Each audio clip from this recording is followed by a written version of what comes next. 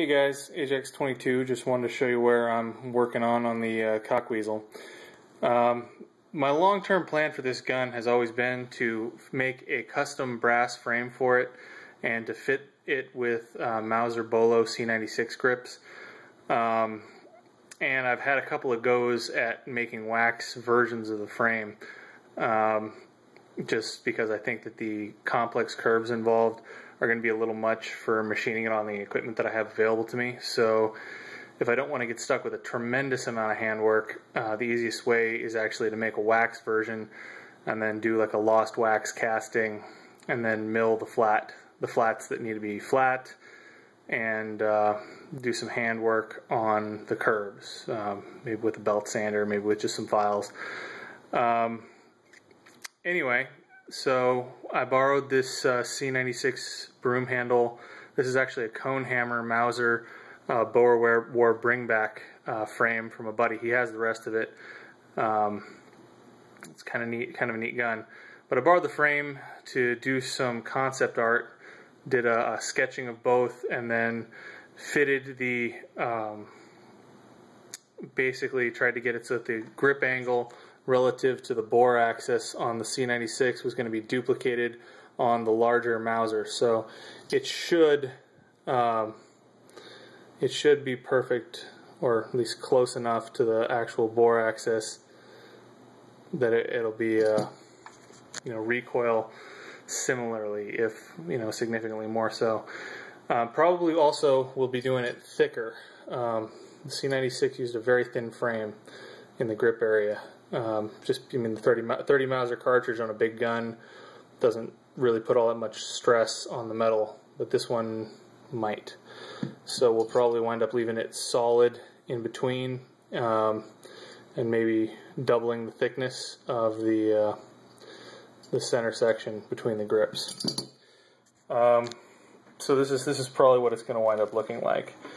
Uh, as you can see, there's two, two types of wax here. I kind of screwed this up um, the one, the main stuff I've been using is beeswax, but I can't find my beeswax block. I think it might have gotten thrown out on accident.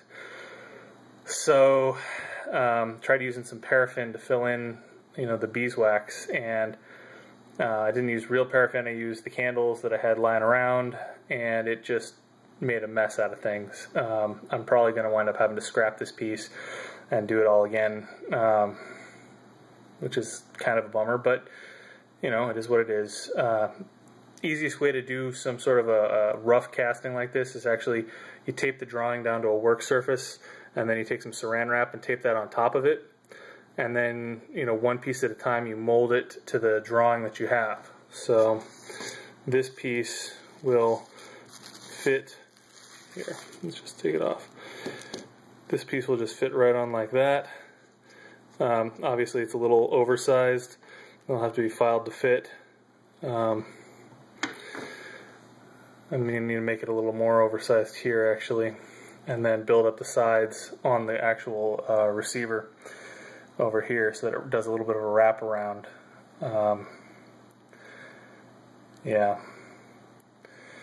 But then you just uh, build it up as needed, flip it over, and then duplicate the piece again. Um, I got to the point where I was duplicating the piece and tried to do it with the paraffin. It just that stuff is so slippery. I don't think it actually. It might not even be real paraffin. It might be uh, paraffin and petroleum. It's one of. I was using those little votive candles, and it just. It was just horrible. Um, yeah, made made a mistake with that. Um, but have the drawing now, so and I think this this setup's going to work. Probably going to replace the. Uh, standard Mosin trigger with a Timney. Um, and then I might do that actually pretty soon so that I can design the uh, the grip around it. Um, I'm gonna cast a block here to replace to go to fill in this little segment. I don't know if I'm gonna do any sort of a nose cone piece or what. And then cast this back part and then take plates and actually take the brass plate, lay it across.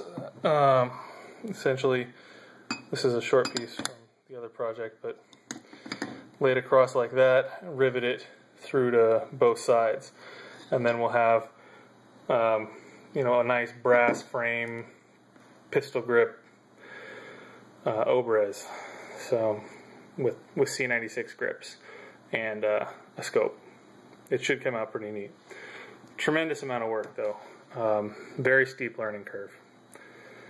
The whole the whole casting uh, thing. It's involved. But that said, once once we get the hang of it, um, there's an awful lot of complex curves and shapes that then become available to us for some of the other projects, which is why I, I kind of dusted off the Cockweasle and was going to do it. Um, you know, this is a this is a pretty straightforward shape, pretty straightforward machine work, um, and I'd, I'd kind of like to get this buttoned up so that it's not on my unfinished list of projects, which is rather long. Um, you know, anything I can complete and get to the hang on the wall for display segment um, is helpful. Anyway, that's where we're at. That's what we're up to. Um, gonna gonna finish up this wax piece, fit it to the gun, and then uh, pour it. Probably have to start this this one piece from scratch though, but it's you know better luck next time, and I'll, I'll know enough not to uh, not to mix paraffin and beeswax or, or votive petroleum based whatever and beeswax. Just straight up beeswax next time. It's sticky. It's easy to work with. It holds its shape when you leave it for a while. It's just good stuff. All right. Um, yeah, that's uh, pretty much where we're at on this whole whole thing. Should be pretty straightforward to complete and uh, a lot of fun when it's done. Alright, have a good one guys.